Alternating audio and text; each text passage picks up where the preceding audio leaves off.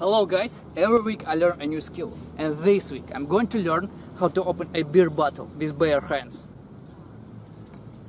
Okay, as I know, the main idea is to find the corner where you can hook on the bottle and hit the cap or hit under bottleneck, this area.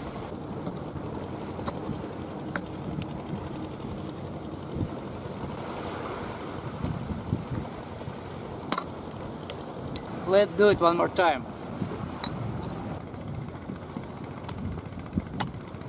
Easy. Can be a little bit painful, but not too much. Better to hit the cap, not the bottle or bottleneck. Definitely. Like and subscribe. Next week, new skill.